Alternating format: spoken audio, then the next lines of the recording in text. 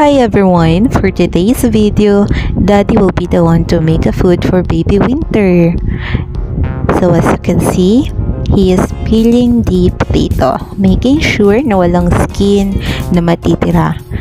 Between the two of us, siya yung mas meticulosa in terms of cooking. Kaya madalas siya yung nagluluto ayaw na ayaw ni daddy kapag ka magluluto siya tapos may isang ingredients na wala. So kapag ka ganun, nawawala na siya ng gana. Napaka-arte niya kapag nagluluto guys, sa totoo lang. Pero sabi niya naman, okay lang kahit siya yung madalas na nagluluto para sa amin. Since hindi daw uh, anong kasarap yung niluluto ko. It's okay. At least siya yung nagsuserve ng food sa amin ni Winter. O, diba? Pinapagamit ko siya actually ng peeler. Ayaw niya. Mas sanay daw siyang magbalat ng prutas or ng gulay kapag kutsilyo yung ginagamit. Ayan, Daddy, bilisan mo na. Naririnig ko ng iyak ni Winter. Gutom na gutom na ang baby. Ayan, finally, tapos na. Ayan yung peeler, ayaw niyang gamitin. So, kita niyo naman guys, kakahugas niya lang ng patatas. Sinugasan niya ulit. And then, preparing to boil the potato. So, I told him to cut the potato first into small bites para mas madali siyang lumambot kapag pinakuluan natin.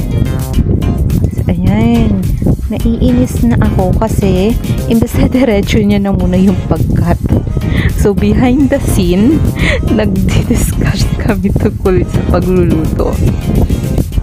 Anyway, siya naman yung nag-volunteer. Uh, Sabi niya, Mommy, can I make the food for Johan for today? Sabi ko, sure, why not? Turuan na lang kita kung paano mag-prepare. So, he is very, very eager na pakainin si Winter today. So, pagbigyan natin yung tatay. Ayan.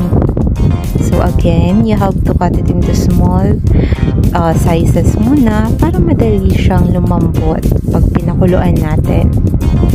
Kailangan muna natin siyang pakuluan para kapag uh, blender na natin, mabilis na lang. So, set natin siya into boil. Kita nyo naman, kahit kakagamit lang ng takip, huhugasan at huhugasan niya pa rin yan. Kaya ang mahal siguro ng bill namin sa water. Kasi may may hugas niya. And then, yan. Ready na to blend the potato.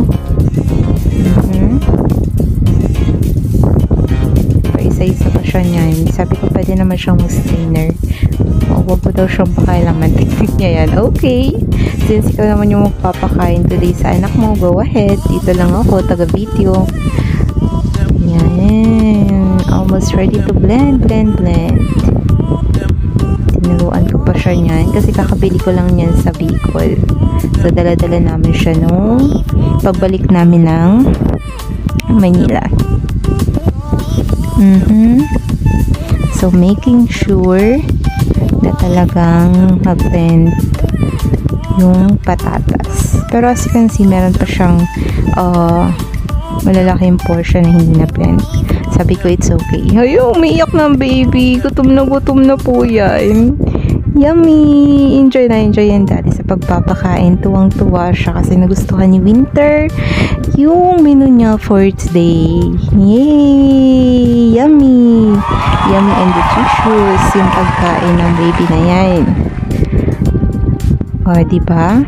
Yummy! Thank you, Daddy, for feeding me today. Super happy. Till our next vlog. Thank you for watching.